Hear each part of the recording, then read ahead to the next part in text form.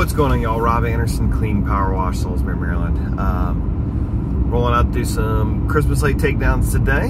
Um, anyways, I was tagged in a post in one of these groups um, about roof cleaning.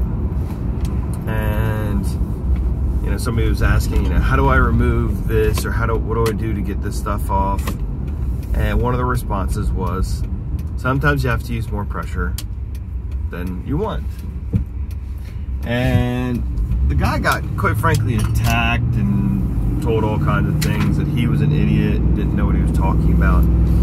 Um, and I, am really kind of surprised about that. There's, there's a big difference between saying you're going to have to use a little bit more pressure than saying that you're going to need to use high pressure. Huge difference between that. Um, if you're cleaning a roof with a 12 volt or an air diaphragm pump, you're not going to be able to dislodge moss and lichen.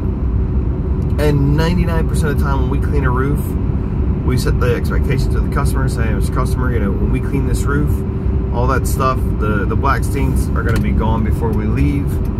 Any moss or lichen, it's gonna look like snow, it's gonna fall off, you know, it's gonna dry out, bake off, fall off, whatever, disintegrate.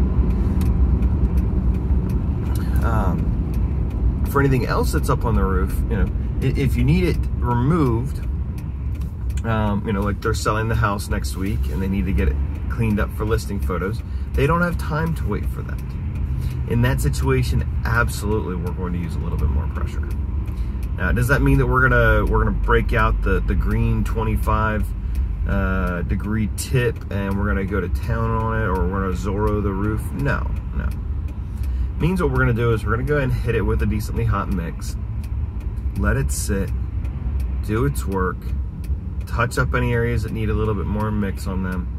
And then yes, we are going to take, um, with the booster pump, I can literally just switch tips and then it'll dislodge the, the moss off of there. It's not ideal. And also when we do this, we explain to the customer, hey, Mr. Customer, this is not our normal process. Since you need this done right now, we're going to rinse it. In that rinsing process, there is the potential for some granular loss. We're not gonna really cause any additional damage to the roof, but it is going to go ahead and uncover the areas where this moss and lichen was. Um, that's how we explain it, and it even has it in our job description. Uh, but we also get a make sure that we get a response from the customer stating that, that they understand that yes, this process is going to require some pressure. Now, for those of you who want to freak out about all that, uh, first and foremost, when you wash a house, there is no way to do it with zero pressure you are spraying something in a direction. There is force that is being applied towards that object. Whether it's 100 PSI or 200 PSI or 500 PSI, whatever it may be. Again, you're going to stay as far away from the surface as possible. If it's just straight up organic material, staining and whatnot, you're not going to use a whole lot of pressure. Um, but if you do need to use a little bit more, that's the difference between going from 50 or 100 psi to say 200 psi. Again, our booster um, can easily remove all the moss and lichen without causing big damage. Um, I certainly would recommend against taking a pressure washer up there to do it, but if you have to, you have to.